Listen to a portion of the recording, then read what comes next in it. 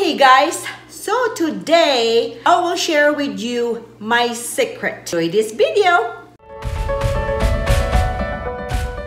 Hi everyone, welcome back. This is Lovelyn again. Did you see my shirt? Look at that.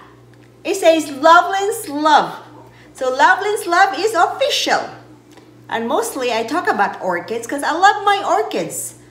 So anyway, today I will share with you guys how to make a banana tea. It's simple, but my orchids love them. I use them to soak uh, for my dehydrated orchids or sickly ones. They love it.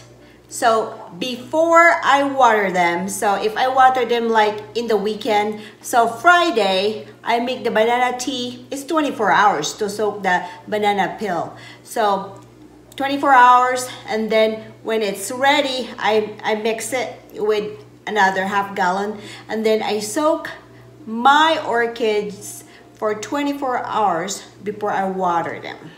Sometimes 30 minutes.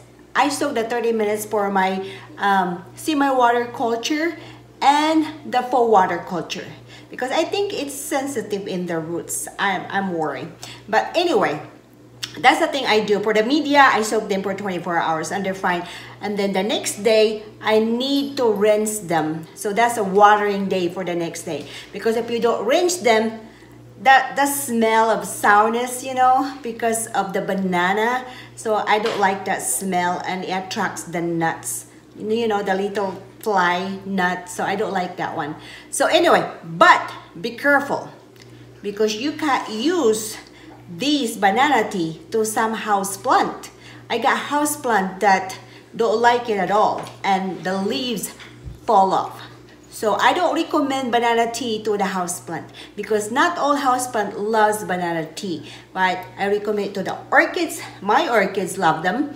And then I know roses, if you love roses, roses love banana.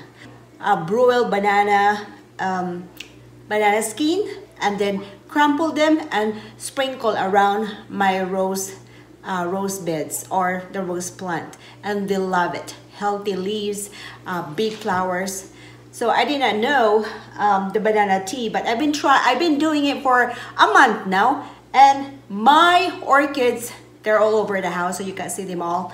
I got some there and here but um, they love banana tea so it's simple. I try not to do a chemical really but um, i think there's a time that you need to but not too much but i love the banana tea. For me it's working. So i'll show you guys how i make them okay? Okay so we cut the banana into small pieces that will fit in our gallon of water.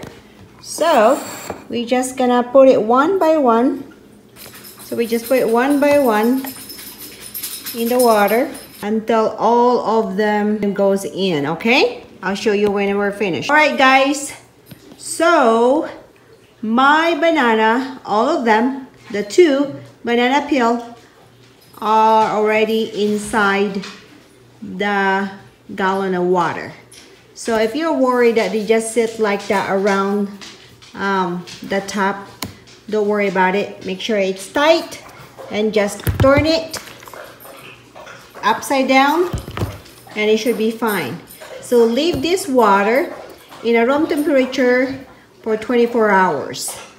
And then when it's ready tomorrow evening we will put it to some of my uh, orchids well the media mostly and soak them for 24 hours. And then on Saturday will be the watering day or fertilizer day. Guys, so after 24 hours, this is my banana tea. Look at the banana chunk that we put um, yesterday. It's so um, it's in the bottom of the gallon now, and it did turn brown. So what am I gonna do with that? We used two banana skin or peel yesterday, so I don't want it too concentrated. So I'm gonna pour half of it and then mix it with um, one gallon of water. So I'm gonna use this one. So I'm gonna use half here and then uh, fill this with another um, half a gallon of water because I don't want it too concentrated. Because if too concentrated I think it's too much and I don't want to kill my orchids instead. What I did I used the panel. I used this gallon just reuse it or recycle it. And then this is the original gallon uh, for the banana tea. Then I just half and half. Then I'm gonna use the panel so I don't want to spill. And then fill it with water equal to two gallons alright guys so my banana tea is mixed with um, water now. So supposed to be one gallon of water two peels of banana and now it become two gallons. But if you want it more uh, not too concentrated you can add another water.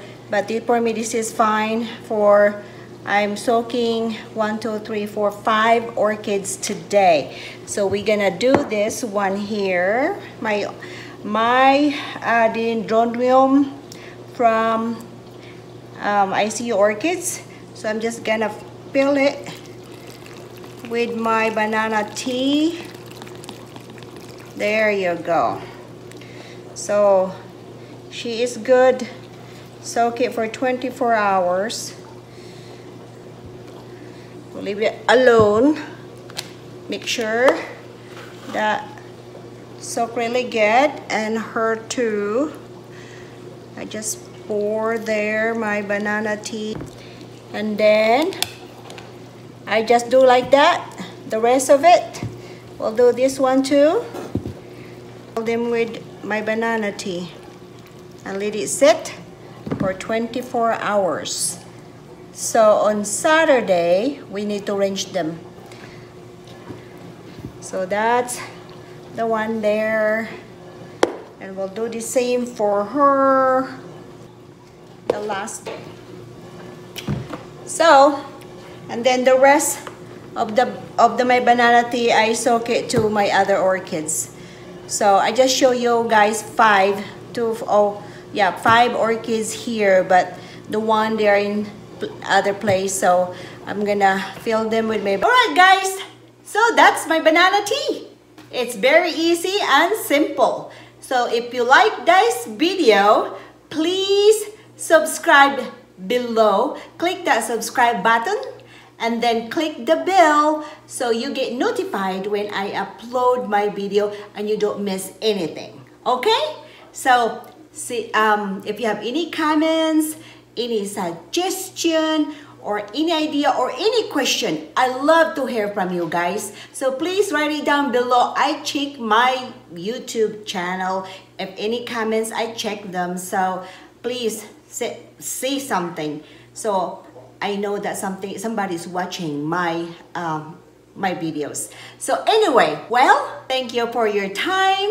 Thank you for watching and I'll see you in my next video. Oh wait, next uh, weekend, well this coming weekend, is my fertilizing day. So I'm gonna show you guys how I fertilize my media and my full water culture. So follow that video, okay? Alright guys, again, thank you for your time and thank you for watching. God bless. Bye!